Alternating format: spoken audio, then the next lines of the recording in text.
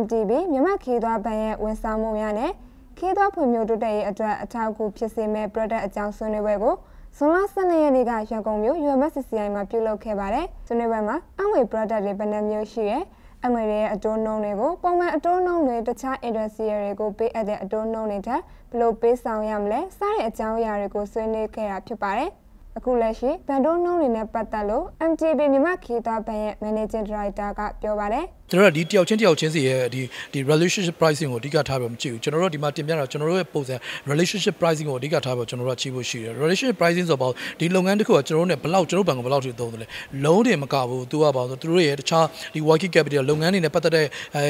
ဒီ process တွေမှာလည်းကျွန်တော်တို့ဘဏ်ကိုသုံးတယ်သူတို့ရဲ့ personal account တွေမှာလည်းကျွန်တော်တို့ဘဏ်ကိုသုံးတယ်ပြီးတော့သူတို့နဲ့ဆက်ဆက်တဲ့လုပ်ငန်းတွေပါလည်းကျွန်တော်တို့ဘဏ်ကိုသုံးတယ်ဒီ relationship ကောင်းတယ်တင်ပြပြကျွန်တော်တို့အတွက်ဒီ company တစ်ခုနဲ့ဒီ company ရဲ့ဆက်ဆက်လုပ်ငန်းတွေကနေဝင်ငွေကောင်းတယ်ဆိုရင်ကျွန်တော်တို့ပေးတဲ့အတွန်းတော့ကိုကျွန်တော် short ချတဲ့နည်းပေါ့ဒါ relationship pricing လို့ခေါ်တယ် international မှာလည်းကျွန်တော်ဒီ method ပဲသုံးတော့ကျွန်တော်အဲ့လိုပုံစံမျိုးကိုဒီမှာလည်းအသေးစိတ်ရှင်းပြရှင်းလင်းပြပြောရပါတယ်လက်ရှိပြည်တွင်းဗန်များမှာအများပြည်သူတို့ချင်းငွေထုတ်ချေးရတွင်အပေါင်ပစ္စည်းပေးအပ်ပြီးငွေချေးပါက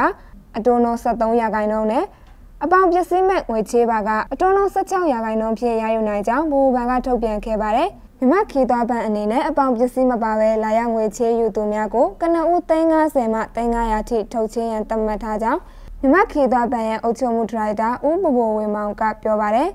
မြမခီသွားပန်အနေနဲ့ဟိုတယ်နေခီသွားလာရေးလုပ်ငန်းများအတွက်ဗမာထုတ်ချေးငွေပေးသွားမယ်ချင်းငွေစုစုပေါင်း30ရာခိုင်နှုန်းအထိထုတ်ချေးသွားမယ်လို့သိရပါတယ်။